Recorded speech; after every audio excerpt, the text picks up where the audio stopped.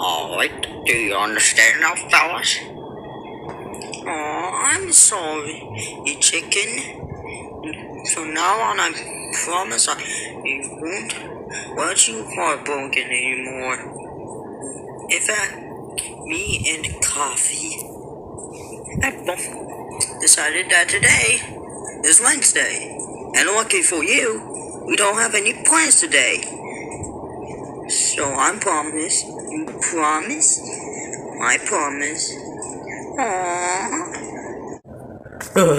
Flashback termites. Uh, do you remember the time I was hanging out with this cowboy? You're here, however. Yeah!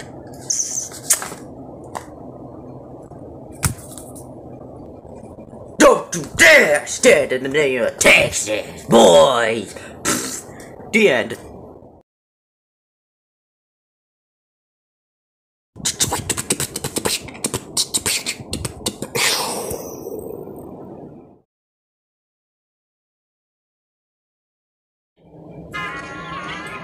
Hey, uh, do you see a volcano that looks like an orange green dome?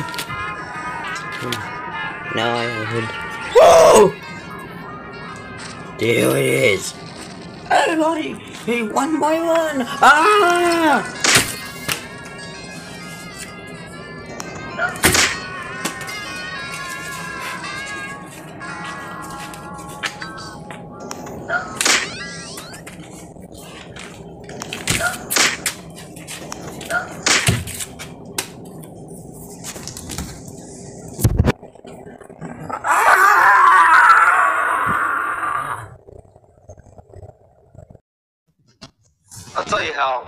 A lot of people get unhappy and things turn out okay when I read you this story about Sam.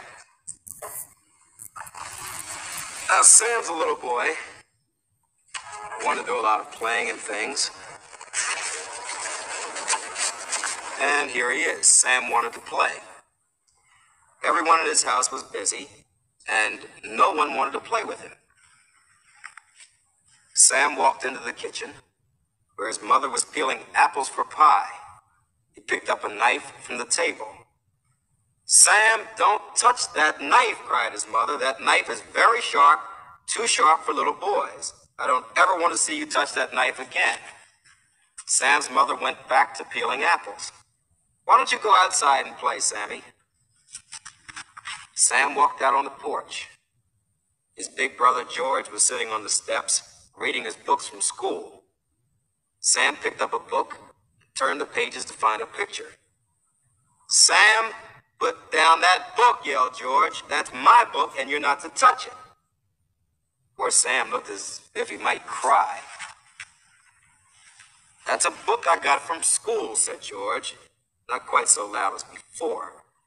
If you get it dirty or rip the pages, I'll be in trouble.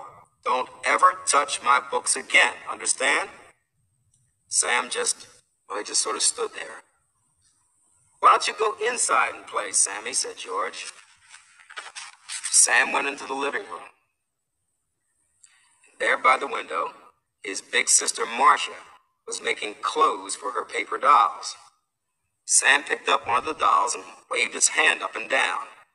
Sam, screamed Marcia when she saw what he was doing. You'll bend my doll's hand. You'll ruin her. Sam looked as if he might cry. You go play somewhere else, Sammy, but don't ever touch my dolls again. Sam just stood there. Why don't you go find Daddy, said Marcia. Sam's father was sitting at his desk, reading the newspaper. Sam stood behind him, beside him for a minute. Then, ping, Sam punched down a key on the typewriter. Sam, get your hands off that typewriter, shouted his father. How many times must I tell you that typewriter is not a toy for children? Typewriters are very easy to break and they cost lots of money to fix. Don't ever touch my typewriter again. Sam's father turned back to his newspaper. Why don't you go find Mother, he said. Then Sam really did cry. He sat right down on the floor by his father's desk and he cried cried and cried. He cried so loud that his mother came in from the kitchen, and his big brother George came in from the porch, and his big sister Marcia came in from the living room. What in the world is the matter with Sam? asked his father. I think I know, said his mother, sitting down in the rocking chair by the desk and picking up Sam in her arms. I think I know too, said George. I think I know too, said Marcia. For a minute, everyone was quiet. The rocking chair creaked back and forth as Sam curled in his mother's arms. Sammy, said his mother, if you're not too busy, there's a job you could do for me in the kitchen. Well, Sam was tired of crying, so he followed his mother into the kitchen. His father, his big sister, his big brother all came along too. Sam's mother pulled out a tall kitchen stool so he could reach the table. Then she pinned a dish towel around his neck so he wouldn't get dirty. And then she gave him a piece of soft pie dough and a rolling pin so he could roll the dough out flat. There's just enough dough to fit in this little pan, said Sam's mother. Maybe you can make a tart to bake in the oven with the pie. Say, that's a good job for Sam, said his father.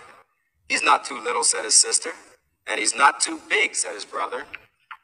In fact, said his mother, he's just the right size. And now, Sammy, what kind of jam would you like for your tart? Raspberry, said Sam. How about that? You know, I bet another thing that Sam does is studies his words in order to know. Would any hand want to hang on with me? I think not. Jeez, whatever.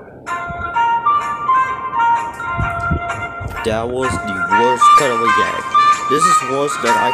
This is even worse than I saw this fan this one time though.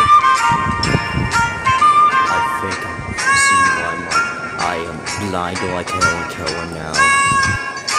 Jeez. Anyways, Sesame Street was brought to you today by the letters E, O, and V, and by the number 10. The book Sam was made by hey, hey, Ann Herbert Scott. Copyright, I think maybe 1969, I guess, by some unknown publisher I don't, what I don't know of. Sesame Street was a production of the Children's Television Workshop.